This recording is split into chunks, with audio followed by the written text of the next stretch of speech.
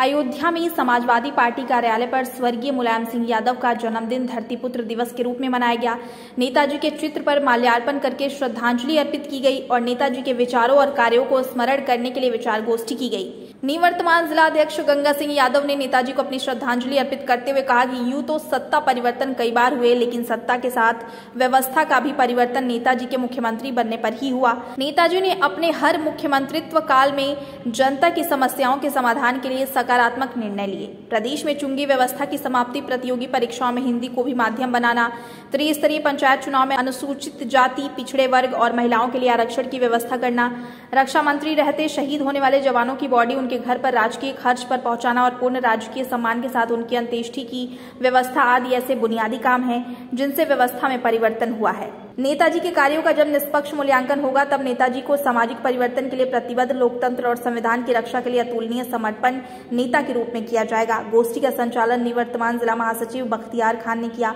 गोष्ठी में वरिष्ठ नेता छोटेलाल यादव मौजूद रहे। आज समाजवादी पार्टी के संस्थापक, संरक्षक हम लोगों के नेता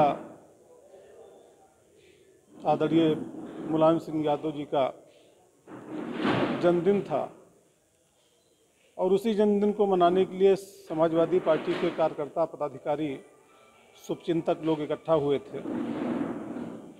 हर साल हम लोग जो है नेताजी को का जो जन्मदिन मनाते थे, बहुत ही खुशी के साथ मनाते थे।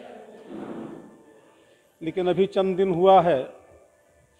नेताजी ने इस दुनिया को अलविदा कहा है।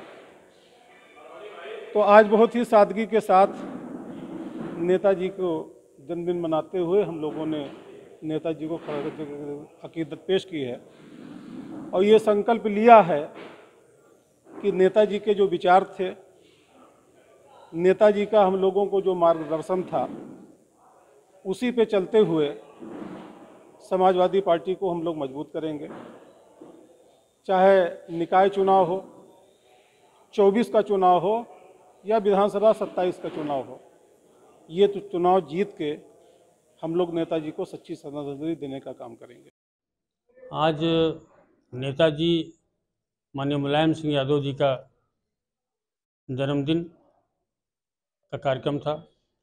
हम सब लोगों ने समाजवादी पार्टी के कार्यकर्ताओं ने धरती पुत्र दिवस के रूप में नेताजी का आज का जन्मदिन मनाया और उनके बताए हुए रास्ते पर चलने का संकल्प लिया। समाजवादी पार्टी निकाय चुनावों को पूरी गंभीरता से लड़ने जा रही है।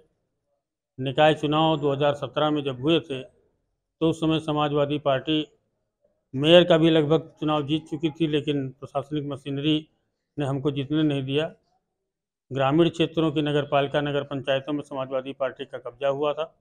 और इस बार भी समाजवादी पार्टी, मेयर सहित सभी नगर पंचायतों और नगर पालिका में